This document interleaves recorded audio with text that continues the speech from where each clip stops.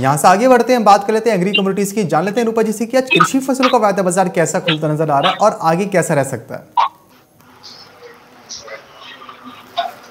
रूपा जी देख रहे हैं कि एनसीडीएक्स पर आज सारी ही कम्युनिटीज हरे निशान पर ट्रेड करती नज़र आ रही है। अच्छी खासी बढ़त देखने को मिल रही है। सबसे पहले बात करें अगर यहाँ पे कैसा सीड की तो देख रहे हैं कि कैसा सीड का जनवरी वायदा पाँच पर ट्रेड करता नज़र आ रहा है। 6016 का भी हाई लगा चुका है। रूपा जी, जब आज एनसीडीएक्स पर कैसा सीट का वायदा बाज़ार खुला था तो 6000 के ऊपर ही ट्रेड करता नज़र आ रहा था। ऐसे में आपको क्या लगता है? क्या आज एक बार फिर से कैसा सीट का वायदा बाज़ार 6000 के ऊपर सस्टेन होने में कामयाब हो पाएगा, या फिर यहाँ से मुनाफा वसूली बनेगी? देखिए फ़िलहाल ट्रेंड पॉजिटिव है थोड़ा बहुत गिरावट बड़ा रह सकता है। आप देखिए हम्म। नीचे में उनसठ सौ चालीस से लेकर उनसठ सौ बीस है और ऊपर में छह हज़ार का स्तर जो है अगर सिक्सटीन रहता है छह हज़ार बीस से छह हज़ार चालीस के पास तो बासठ सौ तक का स्तर भी संभव है देखने को मिल सकता है। ट्रेंड पॉजिटिव है अब यहाँ से खरीदारी कैस्टर में करके चला जा सकता है। जी। यहीं से रूपा जी बात करें अगर बिनौला खल की तो बिनौला खल का जनवरी वादा देख रहे हैं कि तैंतीस सौ तीन पर ट्रेड करता नज़र आ रहा है। जी कल के कारोबारी सत्र में हमने देखा था कि बिनौला खल का जनवरी वायदा बत्तीस के पार जा चुका था, बत्तीस का जो आपने टारगेट दिया था बिनौला खल के जनवरी वायदे में, आपका वो टारगेट अचीव हो गया था कल शाम के कार्रवाई सत्र में। यहाँ से आप देख रहे बिनौला खल तैंतीस के ऊपर ट्रेड कर रहा है। आपको क्या लग रहा है? क्या यहाँ से आगे तेज़ी जारी रहेगी या फिर यहाँ से मुनाफा वसूली भी संभव है? क्योंकि हम देख रहे हैं कि बिनौला खल में बिना मुनाफा वसूली बने, एक के बाद एक लगातार तेज़ी आते ही जा रही है। देखिए, बिल्कुल अखिलेश, मैंने कहा था कि अगर तेज़ी आएगी गिरावट अगर बनी भी तो छुटमुट गिरावट आप देख सकते हैं, लेकिन बहुत ज़्यादा एक्सपेक्टेड नहीं थी, क्योंकि बाज़ार जिस हिसाब से कंसोलिडेट हो रहा था और आज वो टारगेट भी अचीव हुए तैतीस के, अब यहाँ से देखिए, थोड़ा बहुत करेक्शन अगर बना भी तो साढ़े बत्तीस तक नीचे आ सकता है, लेकिन ट्रेंड अभी भी पॉजिटिव है। ऊपर में आप मान के चलिए, अब यहाँ से मुझे लगता है कि कोई बड़ी बात नहीं होगी, अगर पैंतीस का भी स्तर छूता हुआ दिखाई दे। लेकिन जिन्होंने निचले स्तरों पर बाइंग किया है, वो कुछ एक अभी प्रॉफिट बुक करके भी निकल सकते हैं, क्योंकि करेक्शन ड्यू है लेकिन ट्रेंड आज भी पॉजिटिव दिख रहा है हम्म। और आज मुझे लगता है तैतीस से तैतीस तक की रेंज हो सकता है कि बिनौला फल में देखने को मिल जाए। जी। ये सिर्फ़ जी बात करें अगर मसालों की तो मसालों में ये खबरें निकल के सामने आई कि जो मुख्य उत्पादक राज्य हैं मसाले के राजस्थान गुजरात आदि जगहों पर हम देख रहे हैं कि बारिश की संभावना बनी हुई है। वहाँ पे हेल स्टॉम भी देखने को मिला है। हेल स्टॉम की वजह से भी जो इम्पैक्ट देखने को मिला है क्रॉप्स के ऊपर और मंडियों में जो माल रखा हुआ है उसके ऊपर। ऐसे में आपको क्या लग रहा है? क्योंकि हम देख रहे हैं कि सबसे पहले अगर बात करूँ धनिया की तो धनिया का जनवरी वादा 9100 के ऊपर ट्रेड करता नज़र आ रहा है और 9300 के ऊपर का हाई लगा चुका है। और जो अप्रैल वादा है धनिया का, वो 9800 के ऊपर का हाई लगा चुका है। दीपा जी, ऐसे में आपको क्या लग रहा है? क्या आगे मसालों में और ज़्यादा तेज़ी बनने वाली है? देखिए बिल्कुल मैंने पहले भी बताया था कि मसालों में आप देखेंगे हम्म। हमने दिसंबर के लास्ट वीक में दिसंबर मंथ के लास्ट वीक में भी आपके ही इसी बुलेटिन में डिस्कस किया था कि मसालों में आगे जो 2022 है वो अच्छा रह सकता है। और आप देखिए शुरुआती जनवरी मंथ का जो महीना शुरू हुआ मसालों के लिए काफ़ी अच्छा रहा। सभी हम्म। मसालों में तेज़ी देखने को मिल रही है। हल्दी देखिए दस हज़ार के ऊपर है। अब धनिया भी जो तेज़ी पकड़ता हुआ दिखाई दे रहा है मुझे लगता है कि जल्द धनिया भी दस हज़ार का स्तर छू सकता है। धनिया के साथ साथ आप देखिए जीरा जीरा भी तेज़ी के साथ कारोबार करता हुआ दिखाई दे रहा है। तो जीरे में भी अगर सत्रह हज़ार की ऊपर की सस्टेनेबिलिटी आती है तो अठारह हज़ार तक जीरा भी जा सकता है और हल्दी में ऑलरेडी हम इसके अंदर तेज़ी आते हुए देख चुके हैं। दस हज़ार के ऊपर हल्दी कारोबार करती हुई दिखाई दे रही है। काफ़ी पॉजिटिव है मसाले। अब एक अच्छी खासी डिमांड पिकअप होती हुई दिखाई दे रही है। हल्दी मुझे लगता है यहाँ से दस हज़ार आठ सौ तक के स्तर छूती हुई दिखाई दे सकती है। जी। तो यानी कि मसालों का जो रुझान है, आगे जो आउटलुक रहेगा 2022 में ओवरऑल पॉजिटिव ही है मसाले। काफ़ी अच्छा रिटर्न साल 2022 में आपको देते हुए नज़र आ सकते हैं। ये सिर्फ़ जी बात करें अगर ग्वार कॉम्प्लेक्स की तो देख रहे हैं कि ग्वार गम का जनवरी वादा ग्यारह हज़ार के पार निकल चुका है और गवार सीड का जनवरी वादा इकसठ सौ के ऊपर और बासठ सौ का हाई लगा चुका है। रूपा जी, आपको क्या लगता है? क्या ग्वार गम और ग्वार सीड में आज इंटरडे में कल की तरह एक बार फिर से हाइज देखने को मिल पाएँगे? क्या फिर से लोअर लेवल से बाइंग इनिशिएट हो सकती है? देखिए बिल्कुल ग्वार में अब तेज़ी का ही रुझान बनता हुआ हम्म। दिखाई दे रहा है और बाज़ार अभी अपसाइड में है। अब यहाँ से मुझे लगता है कि ग्वार गम जो है वो बासठ सौ तक ऊपर जा सकती है। वहीं अगर सीट की बात करें तो सीट में भी तेज़ी बनती हुई दिखाई दे रही है और ग्वार सीट जो है आज इंट्राडे में देखा जाए तो बासठ साढ़े बासठ सौ तक का स्तर छूती हुई दिखाई दे सकती है। तो दोनों ही कॉमोडिटीज अच्छी है। अब मुझे लगता है कि यहाँ से सीट जो है वो पैंसठ के स्तरों तक जा सकती है और वहीं अगर गम की बात करें तो आने वाले दिनों में तेरह तक के स्तर देखने को मिल सकते हैं। जी। यहीं पर जी, बात करेंगे सोयाबीन की। तो सोयाबीन में सबसे पहले तो ये खबर निकल के सामने आई है कि अब सोयाबीन का जो छिलका होता है, जो हस्क होता है, अब उस पर भी पाँच फ़ीसदी जीएसटी लगेगा और पूरे देश में ये कानून लागू हो, लागू किया जाएगा। दूसरा हम देख रहे हैं कि जो सोयाबीन है, ना ही ज़्यादा ऊपर जा रही है, ना ही ज़्यादा गिर रही है। 6200 से 6300 की एक रेंज में स्टक हो चुकी है।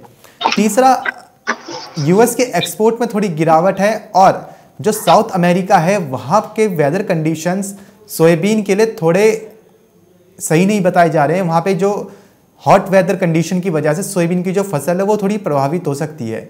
ऐसे में आपको क्या लगता है क्या सोयाबीन में आगे अभी भी कुछ बढ़त बनने की उम्मीद है?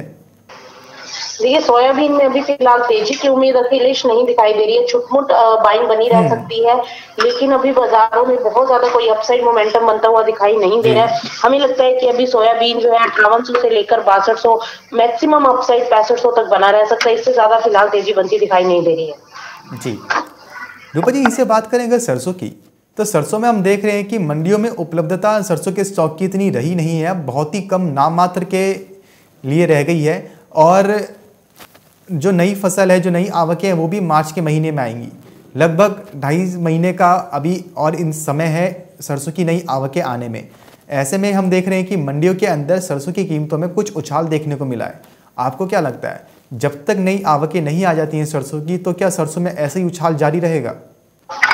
देखिए बिल्कुल ये वाला महीना हो सकता है कि आपको फरवरी तक सरसों के अंदर थोड़ा सा अपसाइड मोमेंटम। बनता हुआ दिखाई दे क्योंकि माल की अवेलेबिलिटी कम है अभी ओवरऑल देखिए ट्रेंड जो है खाद्य तेलों का अभी बाज़ार तेज़ी के साथ खड़े हम्म। ज़रूर हैं सस्टेन कर रहे हैं लेकिन यहाँ से अब ज़्यादा तेज़ी की उम्मीद बहुत कम है जो ये लेवल मिल रहे हैं मेरे हिसाब से इन लेवल पर प्रॉफिट बुक करके एग्जिट लेने में ही समझदारी है आगे चलकर हमें ऐसा लगता है कि एडिबल ऑयल फैट फिसलते हुए नज़र आ सकते हैं जी। रूपा जी, यहीं से बात करें अगर एम सिक्स कॉटन की तो एम सिक्स कॉटन में आपको क्या लगता है? क्योंकि हम देख रहे हैं कि कॉटन की जो डिमांड है, वो लगातार बढ़ती ही जा रही है और सप्लाई इतनी है नहीं। देखिए कॉटन में तेज़ी का ही रुझान है अखिलेश मैंने बहुत पहले भी यही बताया था कि एमसीएक्स पर कॉटन पैंतीस हज़ार के स्तर छू सकती है। वो टारगेट अचीव हो चुके हैं। अब मुझे लगता है कि यहाँ से जो तेज़ी है वो छुटमुट और तेज़ी बनती हुई दिखाई दे सकती है। अब देखिए करेक्शन ज़रूर ड्यू है कॉटन के अंदर हम्म। क्योंकि लगातार बाज़ार तेज़ी की तरफ़ है। करेक्शन के बाद बाज़ार फिर कितना सस्टेन करेंगे ये देखना होगा। लेकिन ओवरऑल ट्रेंड की बात करें तो ट्रेंड पॉजिटिव है। अभी भी कॉटन के अंदर जो हम फ़िज़िकल में एक्सपेक्ट कर रहे हैं कि दस हज़ार तक का स्तर एक बार छूता हुआ दिखाई दे सकता है। जी। तो यानी कि कॉटन का ओवरऑल ट्रेंड पॉजिटिव ही है। विदेशों में तो मांग है ही है। उसके साथ साथ डोमेस्टिकली भी देख रहे हैं कि कॉटन की काफ़ी अच्छी खासी मांग है। रूपा जी, इसी के साथ बात करें अगर मैंथा ऑयल की तो मैंथा तो हम देख रहे थे कि साल 2021 में काफ़ी एवरेज परफॉर्म करता नज़र आया कुछ ज़्यादा खास तेज़ी मंदी देखने को मिली नहीं है। लेकिन 2021 का अंत होते होते और 2022 के शुरू होते होते देख रहे हैं कि मैंथा के जो एक्सपोर्ट्स हैं, जो डिमांड है, वो कुछ उठनी शुरू हुई है मैंथा में। अब कुछ बढ़त देखने को मिल रही है धीरे धीरे।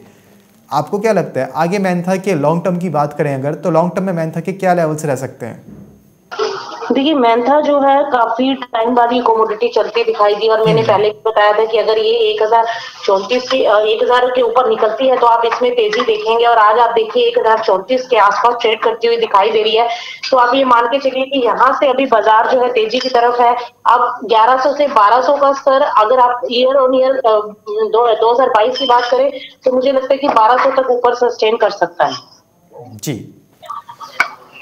रूपा जी दर्शक जुड़े हुए हैं जो आपसे अपनी कम्युनिटीज़ के बारे में सवाल जानना चाह रहे हैं। कोमल कांत कुशवाहा जी हैं जो चीनी में जानना चाह चीनी के बारे में जानना चाह रहे हैं। इनका सवाल है कि क्या आगे जाके चीनी में तेज़ी आएगी? देखिए चीनी में अभी हल्की फुल्की बाजारों में तेज़ी बन सकती है लेकिन बहुत ज़्यादा फ़िलहाल मुझे तेज़ी दिखाई नहीं देती है। मेरे हिसाब से बाज़ार इसी रेंज में घूमते हुए दिखाई दे सकते हैं। जी। रूपा जी दर्शक हैं जिनका सवाल आ रहा है कि आगे जैसे मकर संक्रांति है और शादी ब्याह का सीज़न भी है तो क्या आगे रिफाइंड सोया तेल में तेज़ी देखने को मिल सकती है? देखिए हमें नहीं लगता कि अभी बहुत ज़्यादा कोई तेज़ी का रुझान बनता हुआ दिखाई देगा। अभी जो सिनेरियो है उस हिसाब से लगता है कि खाद्य तेलों में गिरावट बन सकती है लेकिन हाँ अगर कोई ट्रेडर्स एक्टिव हो जाए एक बार फिर से बाइंग आ जाए तो कुछ नहीं कह सकते लेकिन अभी सिनेरियो के हिसाब से देखा जाए तो बहुत ज़्यादा तेज़ी बनती हुई दिखाई नहीं देगी जी। रूपा जी, प्रकाश जी जुड़े हुए हैं, जिनका सवाल सीपीओ को लेकर आ रहे हैं। इनका सवाल है कि क्या आगे सीपीओ में तेज़ी देखने को मिल सकती है? रूपा जी, हमने देखा है कि हाल ही में मलेशिया में बाढ़ आई थी कुछ हफ्तों पहले, जिसकी वजह से जो पाम की जो फ़सल है, वहाँ पर वो प्रभावित हुई है और वहाँ पर एक्सपोर्ट्स भी प्रभावित हुए हैं। ऐसे में आपको क्या लग रहा है, क्या सीपीओ में आगे तेज़ी देखने को मिल सकती है? मद्देनज़र कि भारत में सर्दियों में सीपीओ की जो डिमांड है, वो कम हो जाती है। देखिए, अभी थोड़ा बहुत बाज़ार उठ सकता है, लेकिन मुझे अभी एडिबल ऑयल पैक में सभी पैक पैक की अगर बात करें तो बहुत ज़्यादा भी तेज़ी की उम्मीद नहीं है। अभी मुझे लगता है कि अगर ओमिक्रॉन का भी इम्पैक्ट बढ़ता है तो डिमांड के ऊपर भी असर आता हुआ दिखाई दे सकता है। तो फ़िलहाल के लिए छुटमुट खरीदारी की तरफ़ रहा जा सकता है, लेकिन लंबी तेज़ी की उम्मीद अभी फ़िलहाल नहीं करनी चाहिए। जी। रूपा जी टॉपिक्स क्या देना चाहेंगी आप आज के लिए जिनमें अच्छा मुनाफा कमा के चला जा सकता है? देखिए आज इंटरडे की बात करें तो अखिलेश गुआर में तेज़ी आ रही है और मसालों में भी तेज़ी है। इन्हीं में बाई में रहना चाहिए और वहीं बिनोला खल। आज मुझे लगता है कि जिस हिसाब से तेज़ी दिखा रहा है मार्केट तो हो सकता है कि चौतीस के आसपास जाता हुआ दिखाई दे। तो ये कमोडिटी आज बाइंग में रह सकती है। जी। बहुत बहुत शुक्रिया रूपा जी हमारे साथ जुड़ने के लिए और जानकारी साझा करने के लिए। तो आज पूरे ही कृषि फ़सल के बाज़ार में अच्छी ही तेज़ी देखने को मिल रही है। तो ये था छोटा सा कम्युनिटी बाज़ार का अपडेट कि आज कम्युनिटी बाज़ार कैसा खुलता नज़र आ रहा है और उस पर रूपा मेहता की क्या राय थी।